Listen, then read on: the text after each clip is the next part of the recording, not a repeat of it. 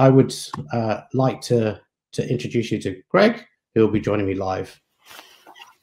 Hey, how you doing? I, I'm I'm okay. I'm just about recovering from jumping out of my skin when the theme music kicked on. Uh, we, hopefully, we've adjusted the sound on that. Yeah, we we did, but I still wasn't ready for it. uh, so, how how are you doing today, Greg? I'm, You've uh, been, been a bit busy jumping on Video cast to video cast. it. Yes, I'm being I'm being mocked shamelessly for uh well I'm being mocked rightfully for shameless self promotion is what I should say. yeah.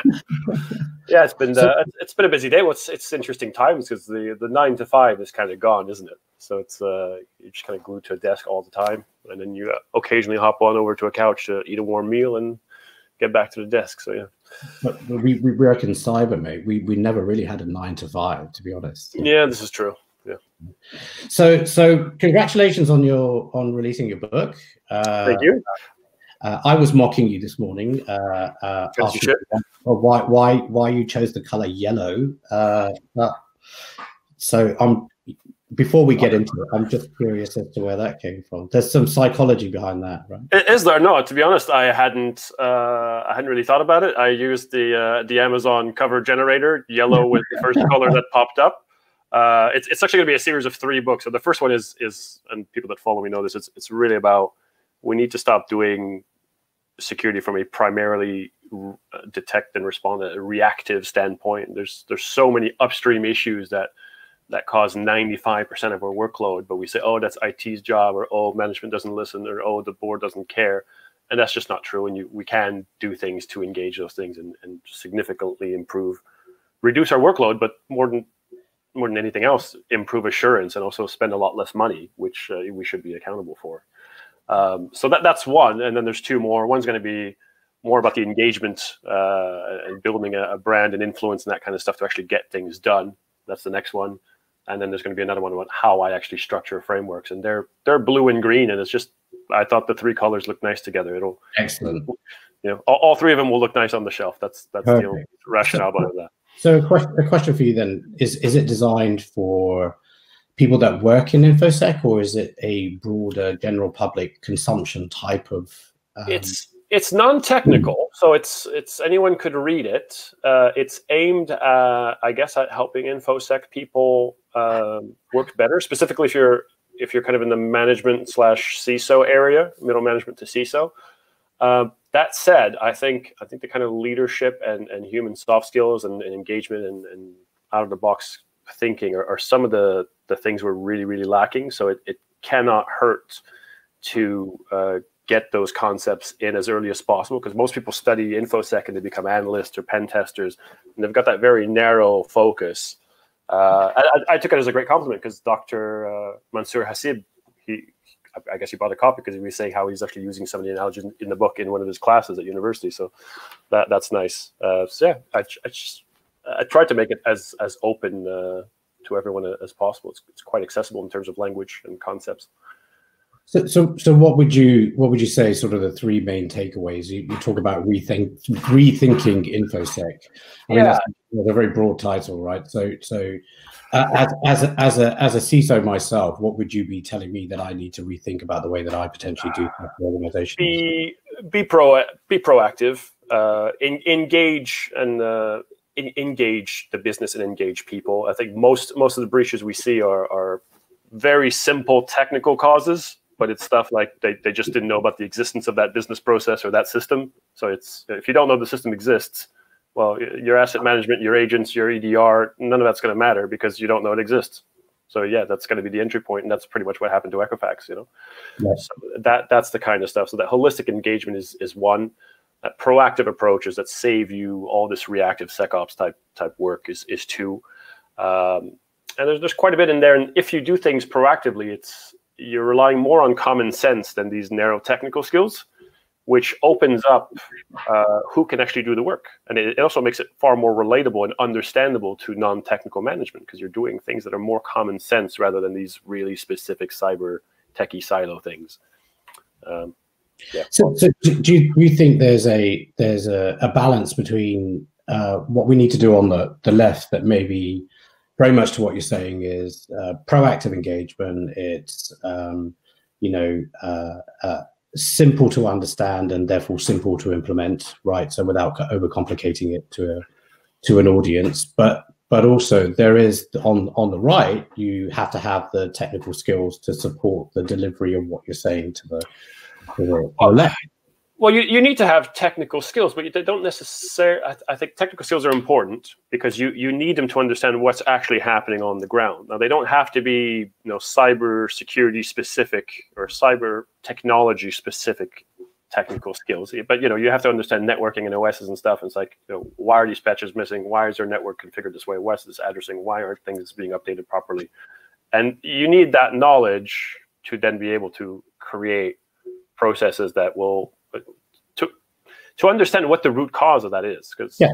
uh, you know somebody, oh well, this system got compromised. Why did it get compromised? Oh, it was missing a patch. Okay, install the patch. That's fixed. But why was it missing the patch? Why didn't your patching solution work? Why didn't the process work? Why was it missed? Oh, it, because we didn't have it. Oh, it's an asset management issue. So why didn't why wasn't it picked up? Why wasn't it put in the register? Why address those issues and you find one problem, you address its root cause, and you fix that problem, but also every other instance of that problem, and chances are other problems as well. Uh, and you'll end up fixing problems in areas where you don't even have visibility to because you, you fix that root cause up there. Um, so yeah, that kind of proactivity. The analogy I give is the car factory where uh, sheet metal comes in, parts come in, and they you know, assembly line, and they put this car together, all these stations, and then you know it has to go into this parking lot to be sold, but they just chuck it from the third floor. And people come in and move it to a corner and start assessing what's wrong with it, what parts they need, what tooling they need, uh, oh god we need a thousand more people. We need experts in this and this and this. We need to buy some tools. We need a management framework to organize all this. Uh, we need some compliance. We need some certifications. And meanwhile you're like why, why don't you fix the assembly line to come up the ground floor?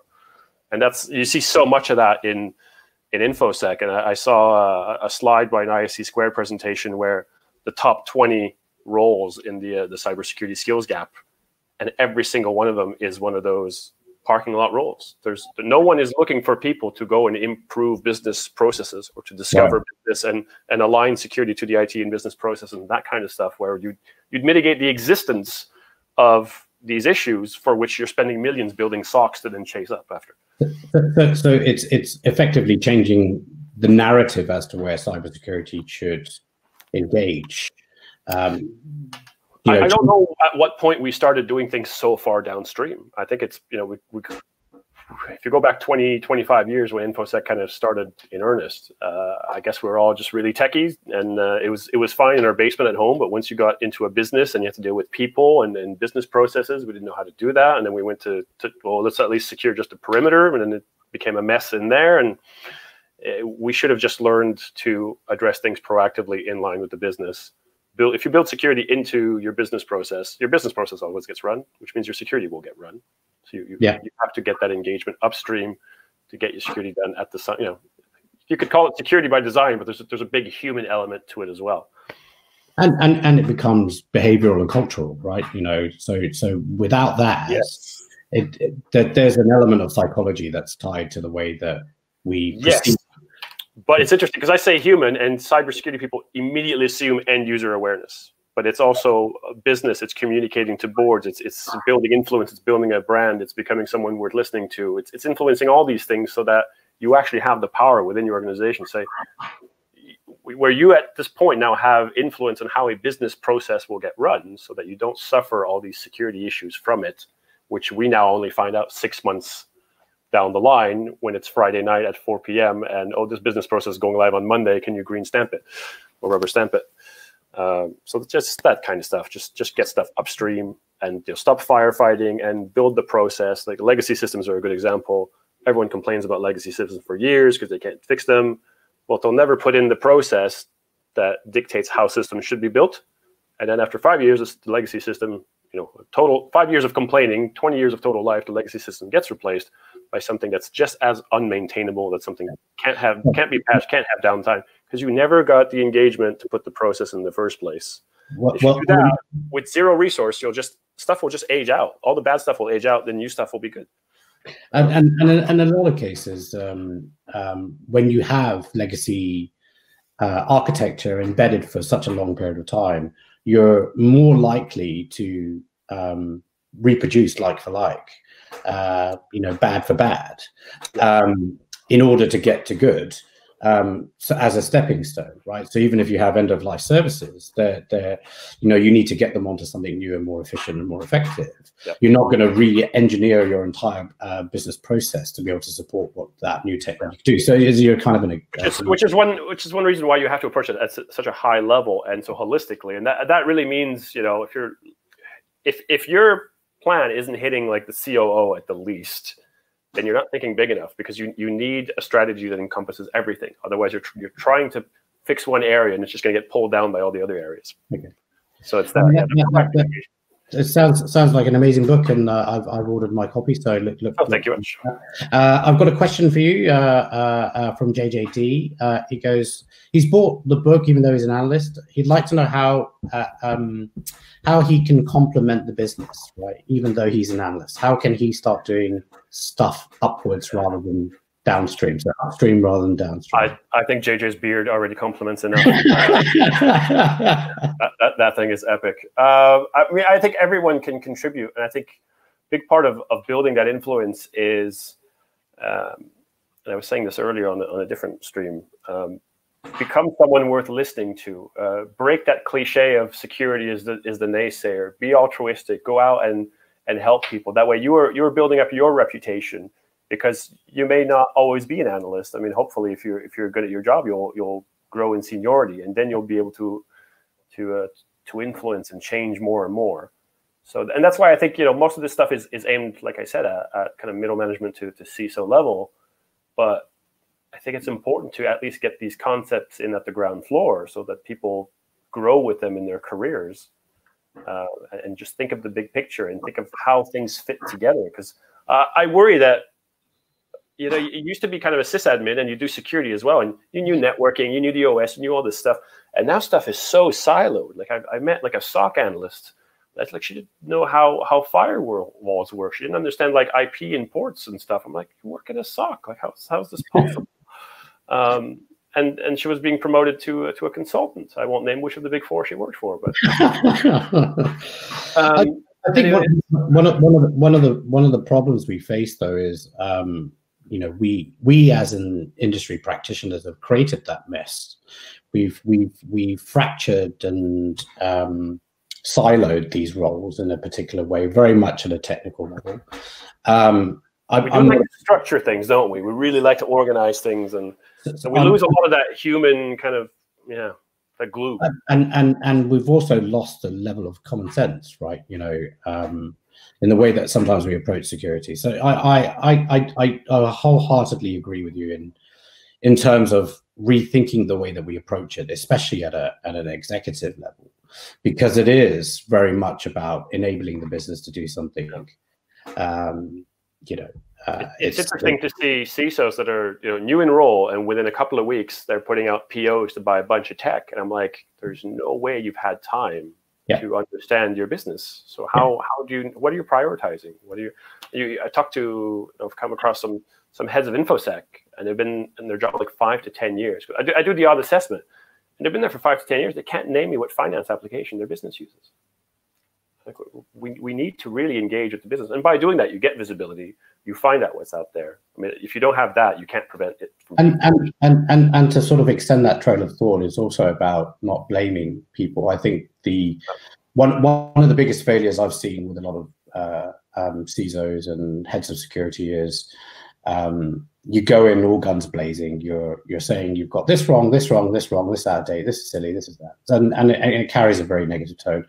Actually, if you if you if you want to be successful as a as a cybersecurity leader. In that thought leadership role, you've got to partner with your business and be able to explain to them very clearly, not always necessarily in, in brisk terms, but to explain to them what's what's being done well and what isn't um, and then take very practical and pragmatic steps to be able to go and fix it. And not all of that means rush to go buy a piece of tin or rush to go buy some software. So yeah, I mean, I, you you beat me to it because what I was going to add is like you, you need to have those interactions to find out what's there. But when you're doing that, you're also developing the relationships, and yeah. you're finding out.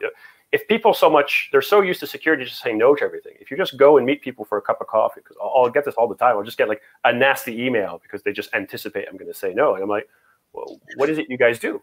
I was like, oh, we're a research lab in so and so building. It's like, when can we have a coffee? And and you go and they're like this is when it starts, you know. But within five minutes, you're like, okay, so explain to me how you do it. Okay, let me. And they just see you thinking, oh, how can I enable you to do this in a way that works? And just the fact that you're putting in that effort, it, it changes the relationship completely. And then it's like, look, it's it's always been this way. I just want to make it better. I don't want to hinder you. And that fear of reporting things or not mentioning when they're doing a change goes away. And next thing you know, they become your eyes and ears all over the organization. So that you, you create this kind of spider web of, of human relationships and, and eyes and ears everywhere.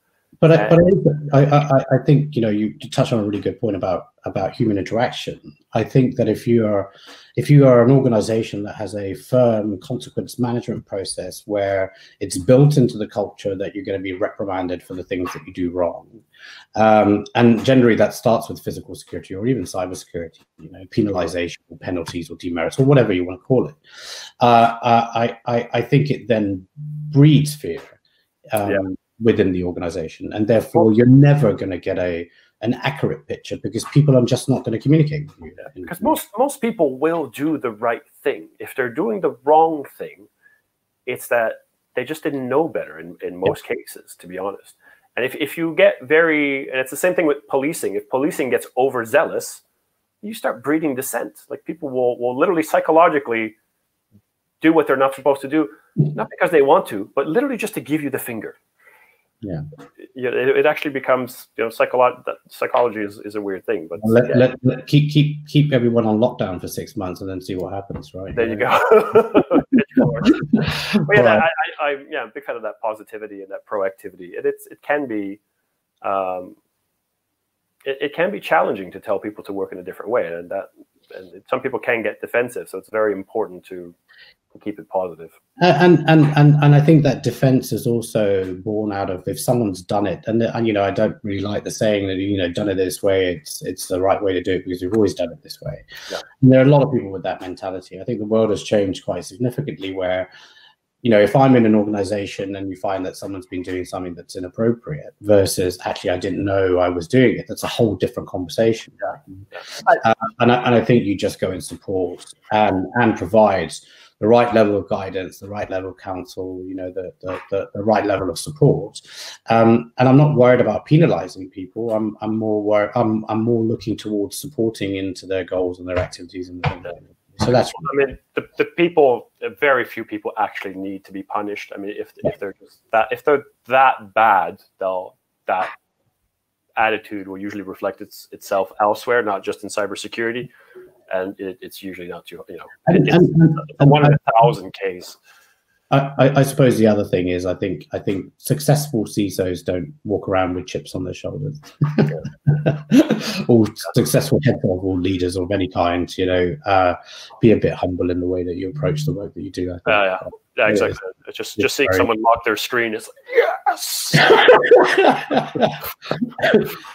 so great stuff. So so uh, moving on, on on on the little time that we've got left. So what do, you, what do, you, think about what's going on in the world today around cyber? I mean, I just mentioned three news stories. Are there any other things that you think are, are worth talking about? Let's let's just go through those stories. my mind is a blank all the time. It's okay. how I get through life. Otherwise, I'd have to worry about everything. Oh, fair enough. Uh, so, so what, what's your take on on on the Marriott? Um, see, I, have mentioned the Marriott, the original Marriott thing in in several talks of mine. Uh, actually, I think it's mentioned in the book as well. Um, I think now it was only like yesterday or the day before that it came out, right? Yeah. I think, as, and I saw this post of like, oh, it must be that time of year where Marriott gets breached again. Which, you know, people are being, you know, security people are being our usual cynical selves. Honestly, I think people are kind of overblowing this one. How very unsecurity person of me, I know. But you know, from my understanding, is this was unauthorized access or oh, compromised credentials, right? Was it compromised? Because my understanding was it was simply left open. I, I, I read two articles that suggested it was a comp- two compromised credentials. Okay. That led to the leak, and they're suggesting that the leak then is of certain value of data. Yeah, okay, that that should have been uh, that should have been caught there because my understanding was basically it was it was kind of a leavers process where they didn't remove access to this. So I was like, well, these people had access to this data, you know, a day before when they were still employees, and it's fine, and now they've got access to it, so it's it's not the end of the world. Um, and let's be honest, probably ninety percent of the organizations out there struggle with this kind of thing. Uh, joiners, leavers, movers processes are rarely very good. Um, they almost always have gaps, especially in the, in the moving uh, yeah. departments.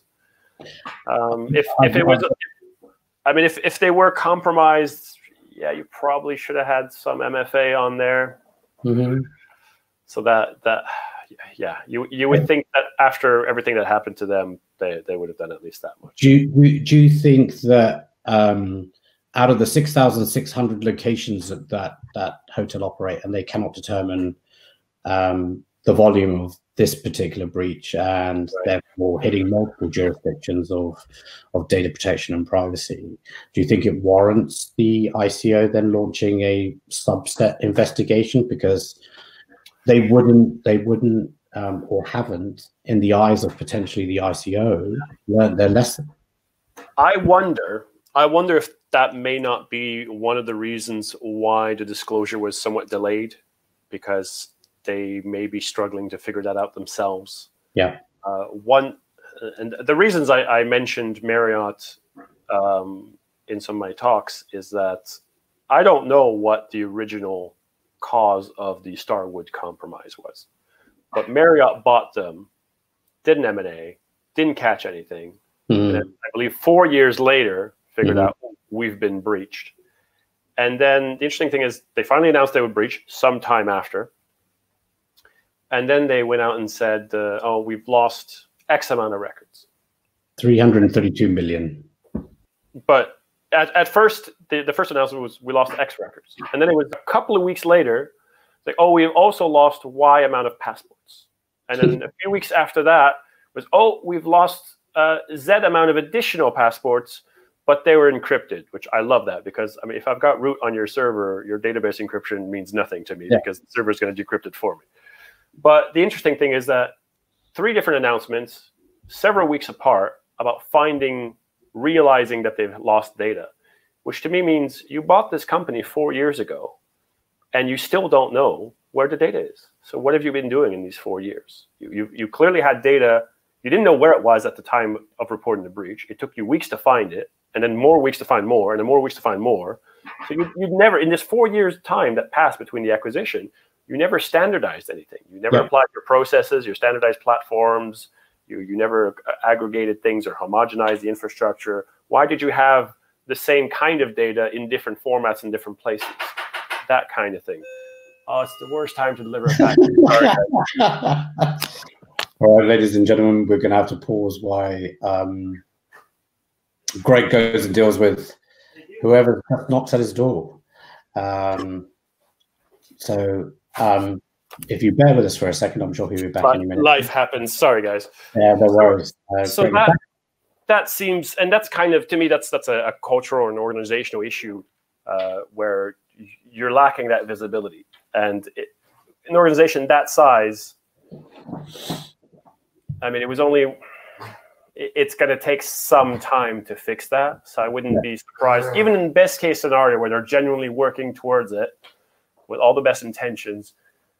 I, I wouldn't be surprised if, if they weren't done yet. So my, my counter argument to that is if they'd learned their lesson from the last breach, they would have effectively implemented solutions to prevent things like this from happening again. They, they should have implemented stuff on they should have done a top to down review and implemented all kinds right? of things. You know, uh, uh, so so this sounds like a very uh, lax control. You know, uh, if it is the case of either which way, whether it was a leavers process that failed or whether it was you know compromised accounts, either which, from a technical level, that's a really low common denominator type of yeah. control that you. I, I mean, they seem. I mean, I'm just pulling data out of, you know, make, drawing conclusions on a little bit of information we had. But it, it seems like inside that network, it's quite disorganized. There's stuff all over the place. It's yeah. probably very low levels of maturity in the, the IT processes, let alone the security one. Yeah. Uh, IT and business process of you know because because this data is is all over the place yet is still being accessed globally. So you know whether I use my my points card here or in Thailand, I mean they they're clearly storing different people's data in different places. But when you're using your card, so everything's connected together, but somehow, so they, they have a, a larger IT challenge of unifying all that data. Yeah. yeah. Um, so that's that's an issue. But yeah, if you've got a massive breach with a hundred million dollar fine, MFA, MFA, you know, MFA is a thing. Like uh, yeah, some some basic things should have been done. Um, I don't know. It's it's too early, and we don't have enough information. I don't I don't want to be overly harsh uh, because it is it well, is the kind of compromise that can easily happen to all of us. Yeah, it's uh, it's it's an unfolding story. So yeah, yeah. exactly. Uh, so Zoom, what's your take on Zoom? It's garbage. Next question. I mean, garbage or your take is garbage? Which one? well,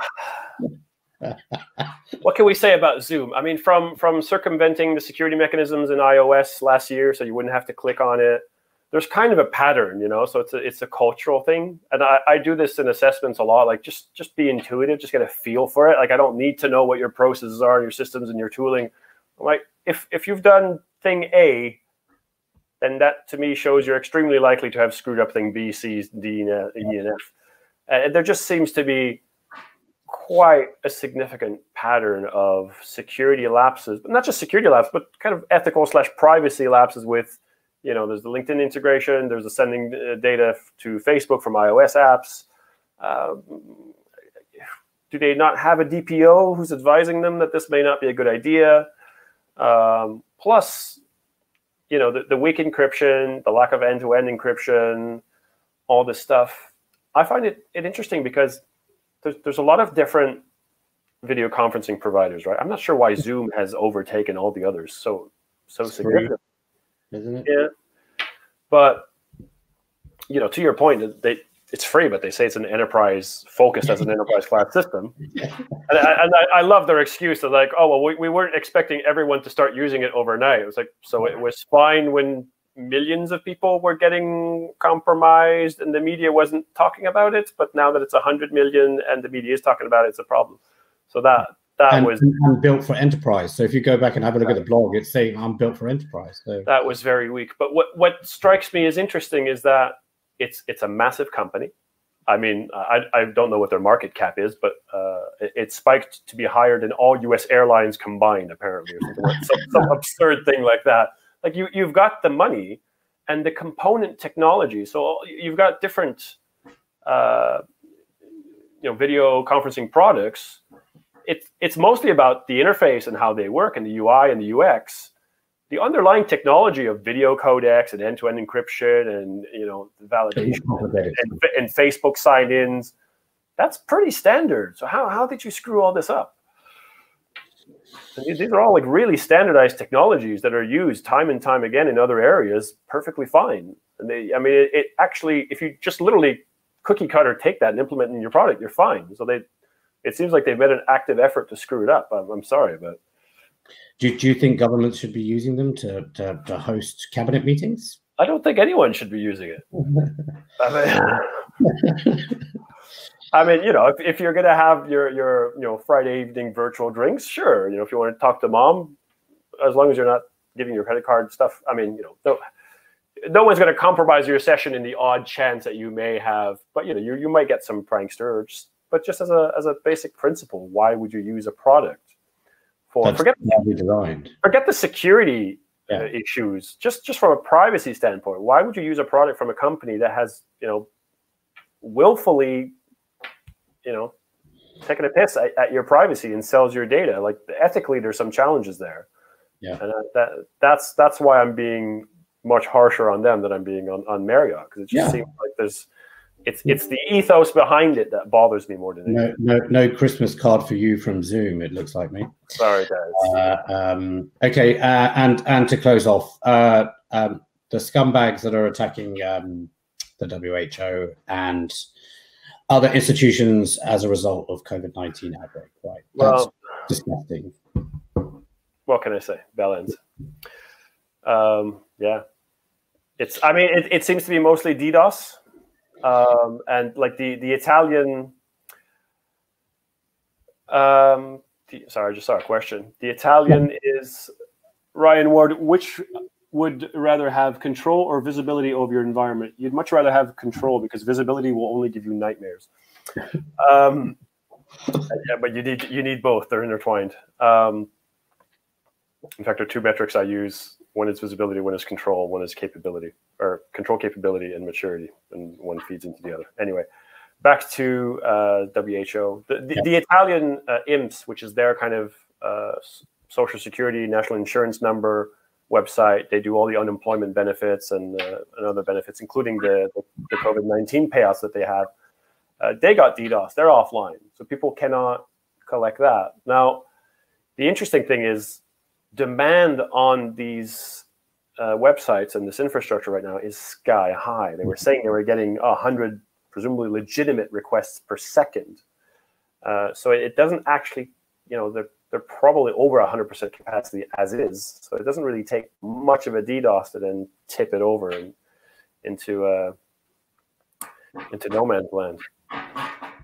But yeah, I mean, uh, what, what can I say? I mean, DDoS mitigation. A lot of these places are charities or they're institutions, and they don't necessarily have uh, the money for it. But you know, yeah. And, and, and, sorry, go on. No, I mean, I'm. Uh, I mean, it's it's inexcusable. Uh, but at the same time, you know, you, even if you're a charity or, or, a government institution, it just shows that you you do need to protect yourself. Uh, I also think as um, and some people have been doing good like volunteer efforts to band together to help healthcare, uh, cybersecurity professionals to help them out free of charge, because you know, we shouldn't we shouldn't be billing them money in their hour of need while they're trying to help everybody else. Um, but yeah, there's there's just not much to say about it. It's just yeah. So, so. Well, Greg, listen, thank you so much for taking the time to speak to us today. Uh, wish you all the success with your with your new book uh, and I hope everything goes well. Uh, keep yourself safe, uh, and hopefully we can have you back on sometime soon. Sure, be my pleasure. Okay, cheers. Thanks everyone. Cheers. And, and that's that, guys. Uh, thank you very much for tuning in today. Once again, uh, uh.